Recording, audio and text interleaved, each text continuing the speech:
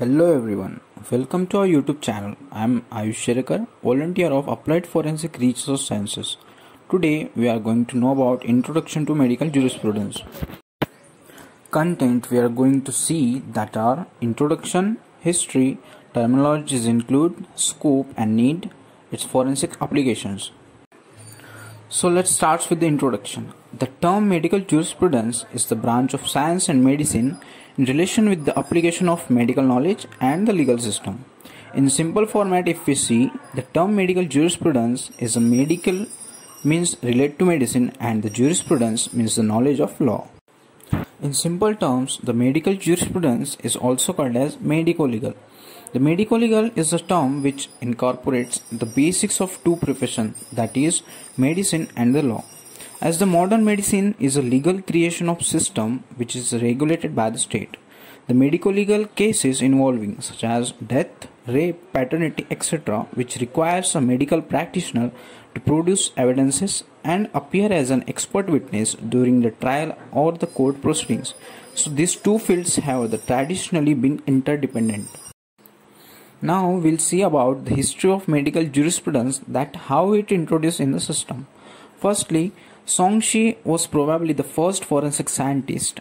He was a Chinese physician, judge, anthropologist, and forensic medical scientist. He was the first known anthropologist who wrote a groundbreaking book which entitled as Collected Cases of Injustice Rectified. The next is Paul Zacchias, was also one of the earliest figures of medical jurisprudence in association with the Papal State and the Catholic Church. He was an Italian physician, teacher of medical science and forensic medicine, also a medico legal jurist. And his most well known book, that is Quaestiones Medico Legales, established the legal medicine as a topic of study in forensic science. Let us see about the terminologies which are used in the medico legal aspects. Firstly, it is a profession of both legal and medical systems and their knowledge. Next is it is a system for the purpose of conveying meaning specific to interrelationships of medical and the law. Some of the terms used in the medical legal aspect such as abandonment that is the action or fact relating any activity with medical and the legal system. Assault which means the unlawful bodily harm without his or her consent. Battery is the harmful or offensive touching of another person. Breach means the injury which is reasonably connected to the action of physician.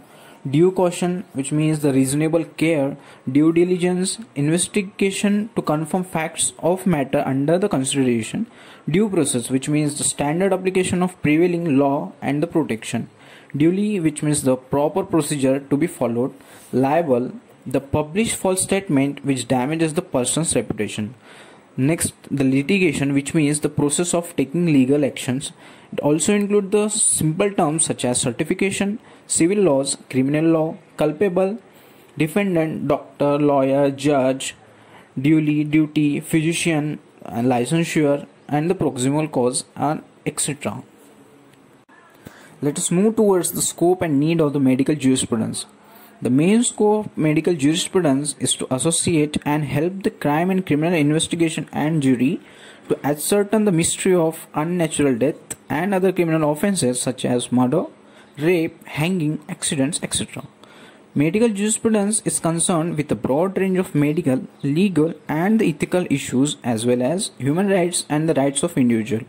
The term medical jurisprudence plays a very important role in justice of human finding exact cause of death of deceased person by means of an autopsy that is a post-mortem and different types of medical legal surgical examination etc.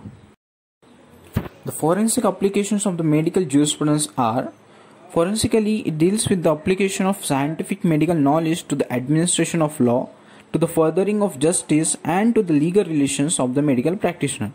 Forensically, it also addresses the physiology of dying, the cause and time of death and post-death phenomena. The key goal is to provide objective evidences of cause, timing and manner of death for adjudication by the criminal justice system. With the end of this topic, let us see that how much you have understood with this question. The question is medical jurisprudence properly embarrasses all questions which affect the civil or social rights of individual and injuries to the person and bring the medical practitioner into contact with dash. The options are patient court hospital and law.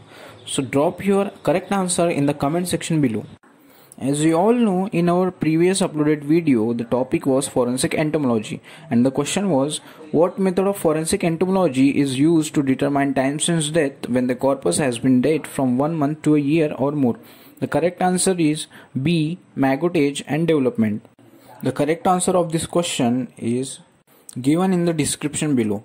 Thanks for watching the video. If you have any queries, please drop your comment in the comment section below. We will definitely clarify your doubts. Please do like, share and subscribe our channel for more updates. Thank you.